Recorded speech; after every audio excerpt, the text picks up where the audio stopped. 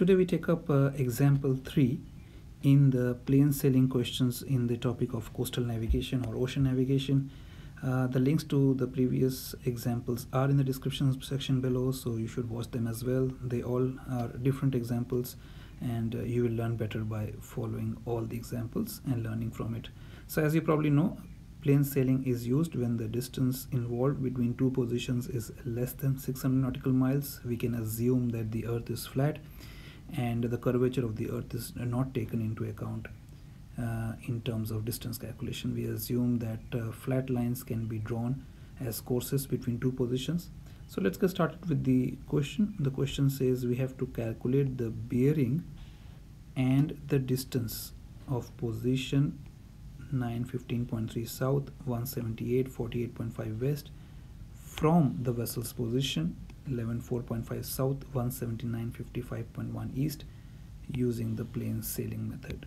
Now normally we have seen before that we have calculated course and distances between positions but here you have to read the question carefully. It says calculate the bearing of position uh, the first position and you have to calculate the bearing from uh, this position here. So that is why be very careful on how you're reading the question. It's not a course and distance uh, question between the two positions so the first the second position is given initially and the first position is given later. That's why I have put this position here from which you have to calculate the bearing as A. This is the initial position and what I say is the bearing can be said bearing or course. So if you have to calculate the bearing from this position to the other position then this position becomes the first position. And I have to calculate the bearing uh, of the position B from position A. Alright, so read the question carefully before you start with it. So the two positions are marked and I have drawn the uh, plane sailing diagram. I draw this to get an idea of how the bearing or how the course would be. Of course the side AB here becomes the distance between the two positions. Uh, this vertical distance is DLAT and this vertical, this horizontal distance is departure. Alright, so make sure you draw the diagram first get an idea of how it is placed uh, so that when you're doing your calculations uh, you can uh, do a cross check with your calculations. You should be very clear on what is happening before you start with the question. So I write then I write down the two positions. I've written down the lat and long of position A and lat and long of position B.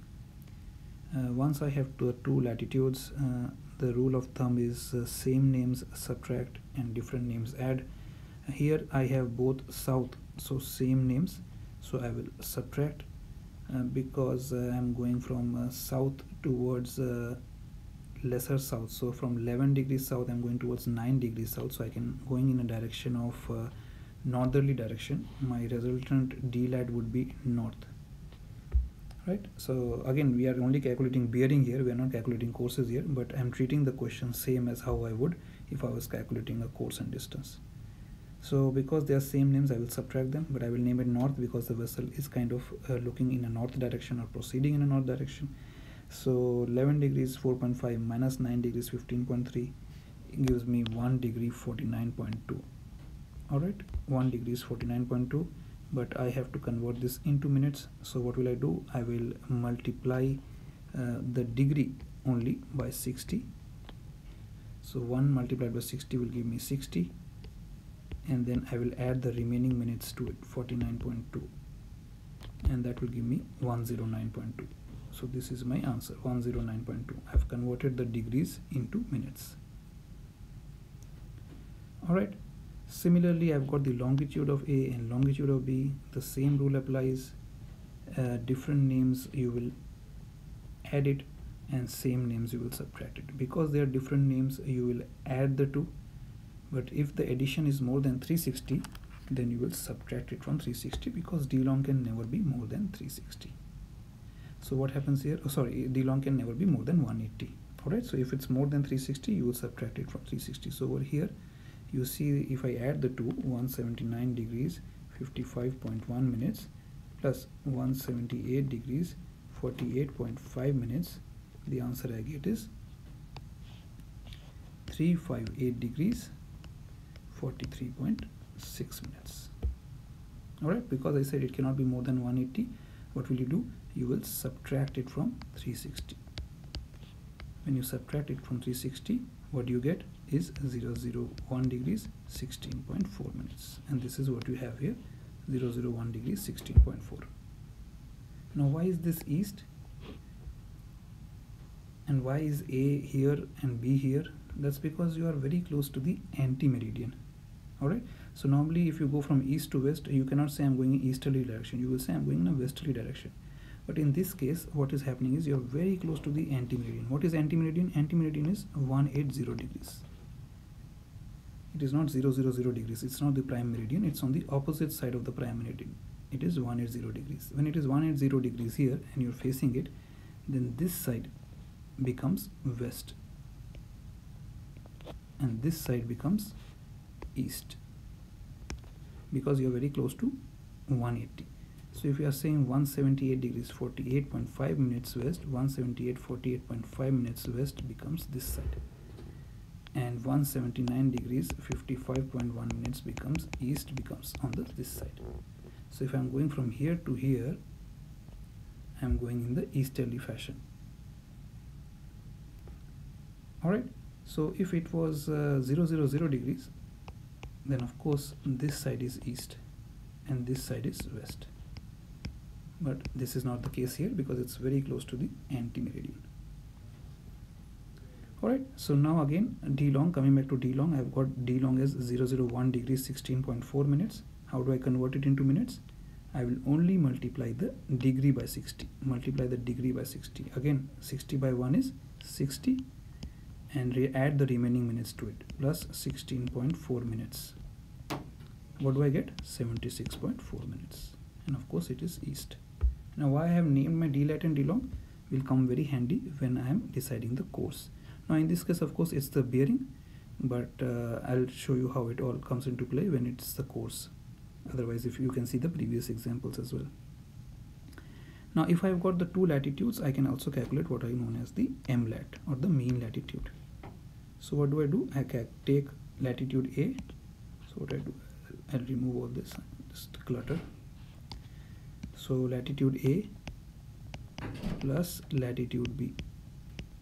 Just add the two and divide by 2 now this is holds true if they are of the same names like is in this case.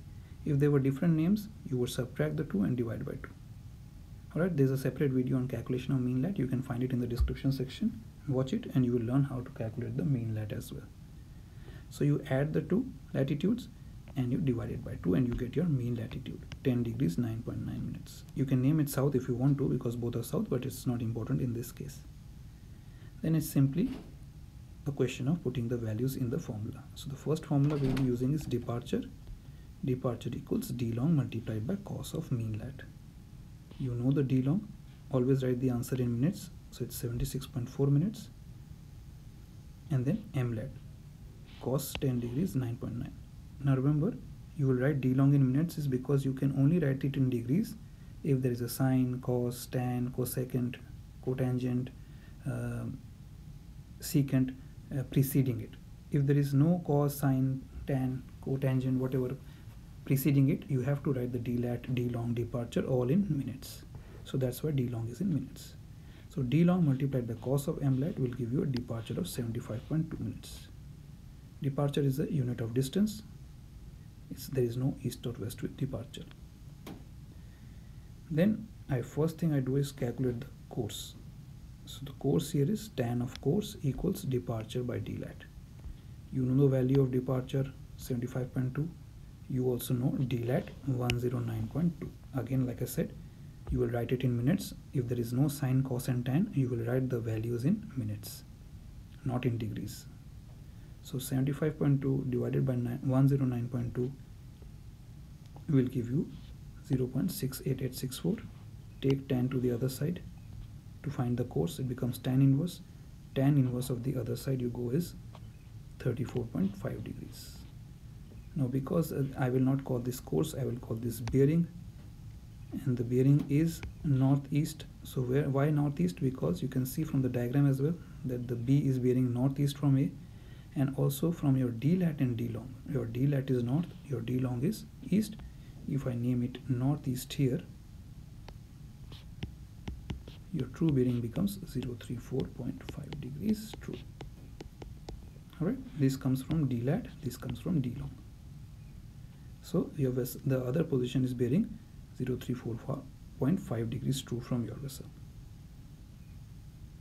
Finally you will calculate the distance. The formula for the distance is distance equals d lat divided by cos of course. You know your d lat is 109.2 again you will write it in minutes. And the cos cos is 034.5 so you can write 034.5 here and cos here. So of course it's in degrees because you have a cos preceding it. But the dlat is in minutes because there is no sine cos tan cotangent cosecant or secant preceding it then simply divide 109.2 by cos 034.5 you can put this exactly like this in your scientific calculator what you get is 132.5 minutes or 132.5 nautical miles now whenever you get your answer in the calculator, do not get confused whether it's degrees or not. Common sense should tell you 132.5 degrees would be a huge value. 1 degree equals 60 minutes. So if you are getting confused as to whether 132.5 degrees or is it 132.5 minutes, it has to be minutes because plane sailing is for distances less than 600 nautical miles. And 132.5 degrees will be multiplied by 60 to calculate the distance. It will be more than 7 or 8000 nautical miles so it cannot be degrees so use your common sense here and make sure you write the answer based on your common sense so here it will be minutes alright so that's pretty much it for the plane sailing example 3 here. I'll take up more examples so that you guys can practice with more examples and get an idea of how to solve questions like this in the exam. Bye for now